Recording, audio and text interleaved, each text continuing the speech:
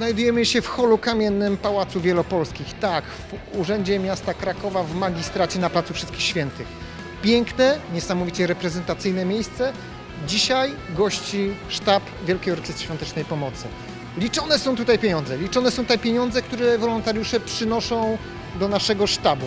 Te pieniądze jutro pofruną do banku, dalej na konta orkiestry, a potem fundacja z nimi zrobi samo dobro. Jest to znakomity pomysł. Dzięki temu wiele osób żyje, można sobie tak bardzo wyraźnie powiedzieć. A po drugie jest to robione bardzo transparentnie. Wiadomo ile pieniędzy kto przyniósł, bo te pieniążki są liczone przy wolontariuszu, który przyniósł puszkę. On dostaje pokwitowanie.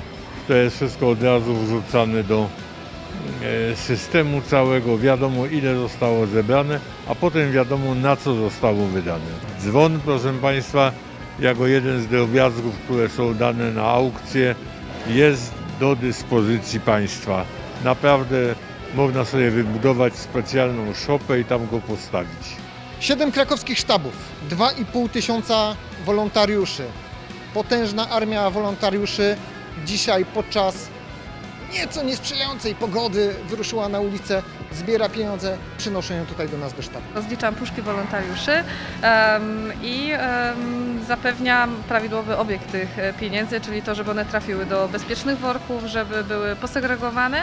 Em, Dodatkowo wykonuję wszystkie prace, które są e, potrzebne, ażeby e, finał odpowiednio się odbył i żeby wolontariusze, którzy marzną na dworzu, byli odpowiednio zaopiekowani.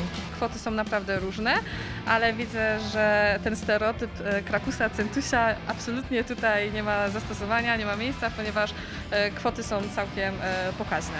600 33 zł. Dzisiaj liczymy pieniądze, e, czyli fizycznie z biurka wrzucenie do puszki jest możliwe tylko 30 stycznia. Będziemy wiedzieli, ile jest tych pieniędzy mniej więcej za kilka dni. Zanim spłyną do nas raporty bankowe, kilka tygodni potrwa. Przez ten czas będą trwały jeszcze aukcje internetowe, na których są licytowane niesamowite rzeczy. Jedną z najbardziej niesamowitych rzeczy dzwon Zygmunta w Krakowie. Jego serce jest za moimi plecami. Do tego jeszcze szereg niesamowitych darów od e, znanych osób, od artystów, od sportowców, od miejsc, które dzielą się z nami czymś swoim, aby dzieciakom zrobić fajnie.